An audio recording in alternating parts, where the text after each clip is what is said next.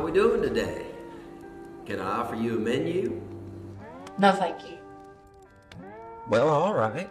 Could I offer you a cup of Sunnyside's best coffee? No, thank you. Okay. Well, if you don't mind me asking, if you ain't going to order nothing, why'd you come in here? Sir, I'm gonna be real honest with you.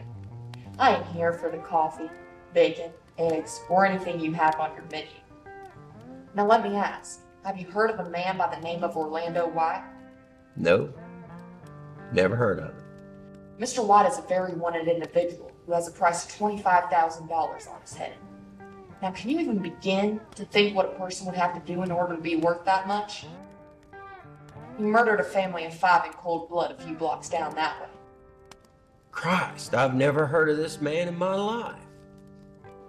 And see, I got word that Mr. White will be coming down to your place of business about one in the afternoon. And when he does, I'll be sitting here waiting to put a bullet right through his head. Then I'll drag his body down to the station and collect my twenty-five thousand. Wow. Sounds like you got it all planned out.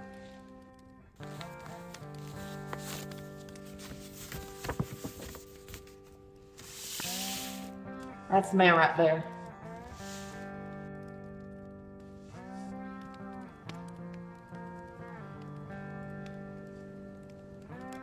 I ought to say, you wearing that mask makes me awfully uncomfortable. Goodness, you're a woman.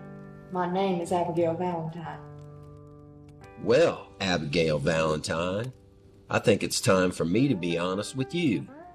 I don't feel real comfortable you blowing a man's head off in my place of business. Just doesn't look real good on my end. Well, frankly, sir, I'm gonna have to say fuck you. Listen, you got your business and I got a family to feed.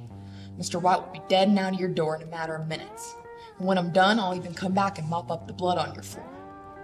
But I will say this if you do intend to standing in my way of taking this mighty criminal down, I wouldn't hesitate at the thought of taking you down with him. Holy shit. Is that Mrs. Valentine I see? William Berkshire. I used to work with your husband down at the factory on Lincoln. My apologies if I startled you. It's okay. Buster, how are we? I'm okay. You doing all right, Bill? I'm doing fantastic. Thank you for asking.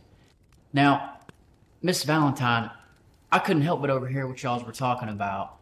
Did you say that that Orlando guy's worth $25,000? That's what the woman said. Damn! Can't imagine what it'd be like to have that amount of money. It'd sure be nice. Now, Mrs. Valentine, did you say that you were going to plan on taking this man out? I do intend to, yes. Why don't you come on over here and join me at this table? And Buster, if you could, could you bring me out two cups of that delicious coffee of yours? Sure thing. Thank you.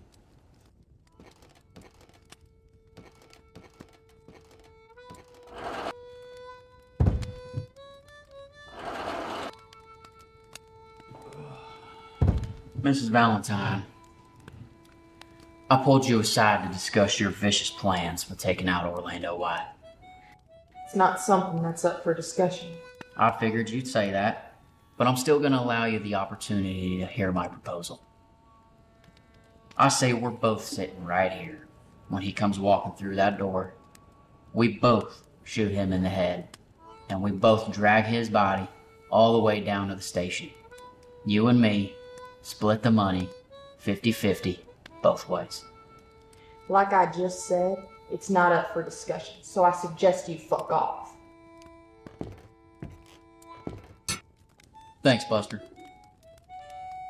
You know my husband died six months ago? I got three children at home that need fed. I don't have the freedom to share my money with anyone else but myself and my children. Mrs. Valentine, I got a sick mother at home. She can't even walk on her own. Hell, she don't even remember what she did 10 minutes ago. We all have our sob stories. The truth is, nobody actually gives a fuck. Now, look, I didn't plan on getting in any type of argument with a woman in a breakfast cafe on this gorgeous Sunday afternoon. But so help me God, you turn down my offer one more time, you nor your kids will get a lick of that money. Mr. Berkshire, is it? I came here today with peace and aggression. I planned on showing my peace to the innocent people in this cafe and planned to unleash my aggression on Orlando White. But then you show up and you interrupt my plans. And I don't like it when people interrupt my plans, Mr. Berkshire. You keep getting closer and closer to that gun on your hip. As the kind person I am, I will inform you that if you grab that gun, it will not be good for you.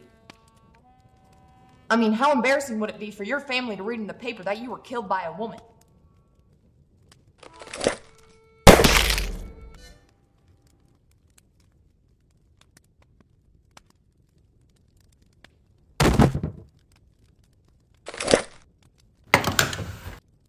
Don't shoot me. He pulled the gun first. I was just defending myself. No need to question me on that.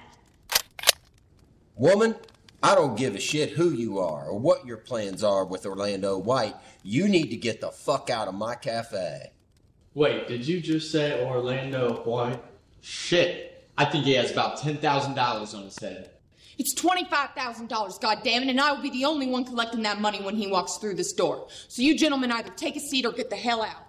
If you don't get the hell out of my cafe right now, I won't hesitate to kill you. Yeah, who's to say us three don't kill you and take that money ourselves? Sir, I came into your place of business today to take out a really bad man for some money. I do not want to cause you or any of your customers any harm.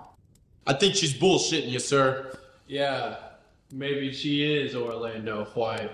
Will you two shut the fuck up? I am not Orlando White. My name is Abigale Valentine. I don't live far from here. I just wanted to take out a bad man for some money. Now, sir, please put the gun down. I ain't put shit down till you get the hell out of here. What are your guys' names? I'm Donny, and this is Rick. Look, Donny, Rick, if you shoot this man over there, I'll split the money with you both. I swear to God. She's lying. Come on, boys. I know that 25000 has seemed quite gorgeous to you. You boys raise one gun, and I'll shoot you.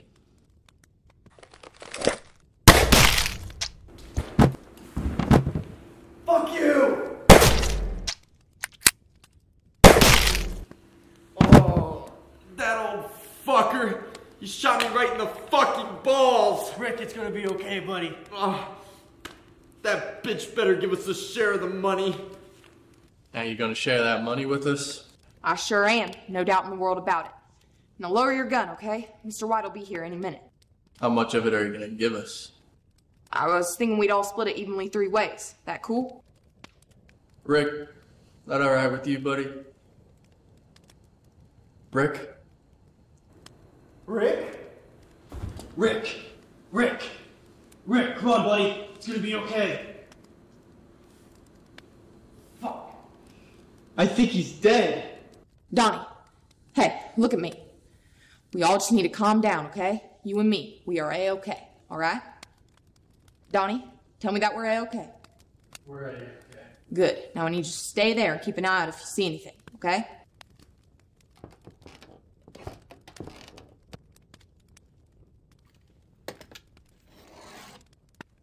Holy shit. I think I see someone.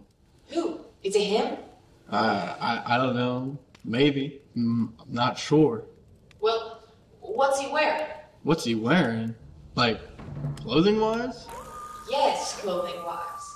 Well, uh, he's got a long black suit on and uh, a beautiful hat. Donny,